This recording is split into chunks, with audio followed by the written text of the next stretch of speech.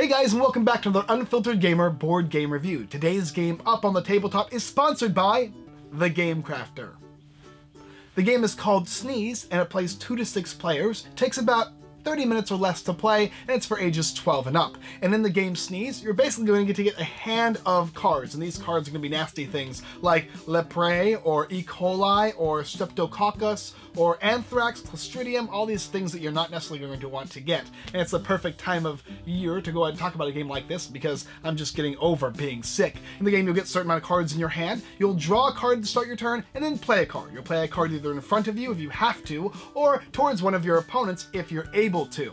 You try to be not too sick to win, and being too sick to win is having too many different diseases in front of you or being played on you. And if you're the only person at the beginning of a turn to not be too sick to win, you are the winner of the game. It's a fairly simple game in concept with some interesting take that and family game mechanics. Let's go ahead and take it down below. I'll show you what you get in the game, how to play, and then I'll tell you my review.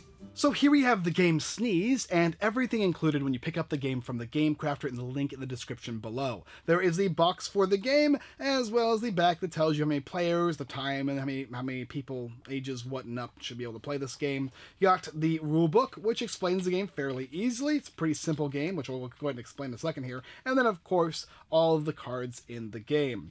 And this game is fairly simple. You're going to start by moving these over, and you're going to shuffle this deck up. After that, you're going to then deal out three cards to each player. So I've already went ahead and shuffled this anyway, so I'm just going to do this. Now, if we're playing with uh, three players, we'll go ahead and deal out three cards to each player. Yep, and then set the deck aside. Now, begin by choosing a player, and I would suggest beginning with the player who was most recently sick, which would be me. So they are going to go ahead and take their hand of cards. You can play with either side, it doesn't matter. And then they're going to draw a card and play a card. Some cards are going to be medicines or things like antibodies that will help you or yourself and other players. And then, of course, the main sets of cards are going to be colors and some type of virus or infection. Now, you can only play a card on your opponents if you have a color or type of card in your hand that matches uh, the one on your field. So right now, unfortunately, you don't have that. Additionally, you can only play colors on your opponents that they don't already have. So I'll have to begin by playing this on myself. Then the next player is going to get to go. They'll draw a card. And once again, they're going to go ahead and play something like, uh, I don't know, how about tuberculosis? And we'll follow it up here. Another card. Uh, that one right there. Okay, then let's go back to this player here. Okay, so now as you can see, I've got blue, I've got purple, and red which means if I had Lepre or if I had this teal color in my hand, I could play it on one of these guys here. But I don't, which means I have to keep playing cards on myself. I'm going to play tuber tuberculosis on myself because I have a medicine here, which will let me cure it next turn if I need to. Now it's this guy's turn. Draw a card. Okay, tuberculosis. Do I have any tuberculosis in here? I don't. Do I have any black cards to give? I don't either. So I'll play E. coli. Next turn, next player. Draw a card. Okay, so we have Lepre, Nope, and no other yellow. So I'll go ahead and play Streptococcus because I have a green antibody. All right, now back to this player's turn here. He'll draw a card. Okay, so he's got tuberculosis and Lepre. Nope. So he can then play medicine. Cures all blue infections, which will cure all blue infections on the table, but he's the only person who has one, so that will get discarded. Moving on to the next player.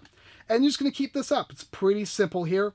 Uh, e. coli, tuberculosis. None of these here are, are E. coli or tuberculosis. So I'm going to have to go ahead and play here. There's also no colors of these types. So I'll play Listeria. This guy's turn here. He'll draw a card. Green antibody, which means it just clears that specific anti that specific Streptococcus from him. So he'll go and discard that. Back to this player's turn here. Draw a card. Come on. Nope. So he's going to have to play a card on himself. And then back to this player's turn here. Okay, finally we have something interesting that we can do. So I have this teal here, and this player has teal, but this one doesn't. So I can play a teal card onto another player. I'm sneezing this color onto him. Now, if he had teal as well, I could not play this card on him, but because he does not have it, I can play that, which is pretty nice. Moving on to this player over here. I've got two E. coli's, three E. coli's, and also three different colors, none of them matching mine. So I'll play this one so that way I can medicine this, e. this purple E. coli. And we'll keep going here. All right, so what Listeria? I do have I do have red now, and neither of these players have red, so I can actually go ahead and give this red to one of these players. So I'll give it to this guy over here. And the game's just going to keep going like that. Eventually, when every player other than yourself, hopefully, gets five. Oh, can't use that. Let's see if I can find another color for him. Five different types of diseases in front of them, and you're the only person who doesn't have that you are going to win. If you have five or more, you're too sick to win. Anything less, then you are not too sick to win, which in this case, this player would win, provided the beginning of a turn happened and this looked like this. It's pretty simple as to how it goes. It's just going ahead and throwing cards back and forth with each other, trying to stave off from being too sick and making everybody much too sick in order to win the game. Sneeze. So let's talk about Sneeze. But before we get into the review, let's talk about a couple other things in the deck that you may not have seen. Now, of course, you've seen the antibodies, which will only affect you, and they are good. They'll help you get rid of whatever color this specific one is. Then you're to get the basic types of infections, like staph infection, and the type of color. There are the medicines, which can cure any color of infection, and it's the only way to cure pink, I believe. No, rainbow is the only way to cure pink. This is what's what cures everything else. Pink is a hard one to cure. Things like handshake, where you can move an infection of yours to another player because you gave them a nice little handshake. And things like the doorknob, where you can pass another infection to another player. And then finally, this is the pink, which is just a hard one to get rid of. But there are certain cards in the deck that will let you go ahead and do that.